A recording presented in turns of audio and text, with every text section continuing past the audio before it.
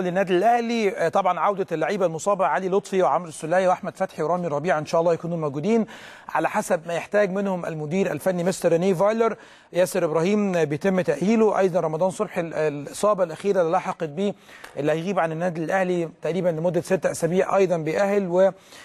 على مهله أكيد عشان أي إصابة عضلية بتكون موجودة في جسد لاعب كرة القدم محتاج إن هو يؤهل بشكل طبيعي جدا ويكون على مهله وما يستعجلش ابدا علشان زي ما حضراتكم عارفين التوابع اللي بتكون موجودة في أي استعجال خاص ب إصابة عضلية في جسد لاعب كرة القدم ممكن تؤدي إلى توابع مش حابينها ومش عايزينها. نصبر ست أسابيع أحسن ما نصبر شهرين ثلاثة بسبب مزق لا قدر الله في أي جزء من أجزاء العضلية اللي موجودة في لاعب كرة القدم. نروح للأخبار وأول خبر هو الأخبار اللي أكد عليها شريف شعبان وإن أحمد فتحي جاهز لمواجهة الاتحاد السكندري. كابتن سلام حفيظ مدير كرة الفريق الأول بالنادي الأهلي قال إن أحمد فتحي جاهز لمباراة الاتحاد والمقرر لها إن شاء الله يوم الاثنين في الجولة العاشرة من منافسات الدوري الممتاز زي ما حضراتكم عارفين أحمد فتحي كان تعرض لإصابة في الركبة بعد مباراة حرس الحدود الأخيرة وبسببها غاب عن مباراة الإسماعيلي. عمرو السولية أيضا بيتعافى من نزلة البرد ويعود للفريق أمام الاتحاد.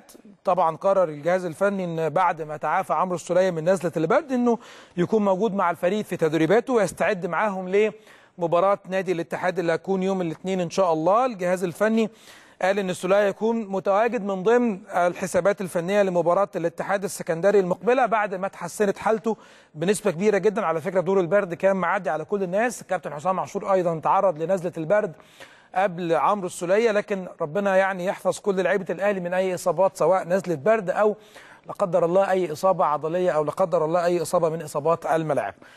آه عبد الحفيظ آه ربيعة جاهز لمواجهة الاتحاد. كابتن سيد مدير الكرة بالنادي الأهلي قال إن رامي خلاص جاهز هو كمان علشان يكون متواجد تحت تصرف الجهاز الفني لمباراة الاتحاد السكندري. إن شاء الله اللي هتكون يوم الاثنين.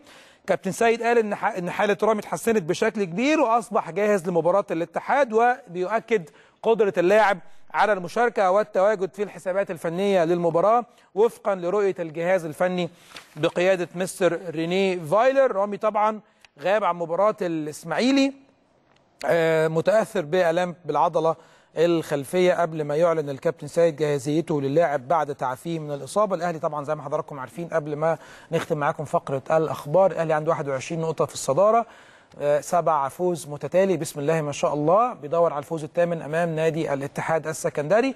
ما ننساش إن الأهلي عنده record قوي جدا وهو عدم تعادله في أي مباراة وأيضا كمان عدم خسارته في أي مباراة. كل التوفيق للنادي الأهلي. هنروح لفاصل علشان بعدها نستقبل الأستاذ إبراهيم داوود. خليكم معانا ولكن بعد الفاصل.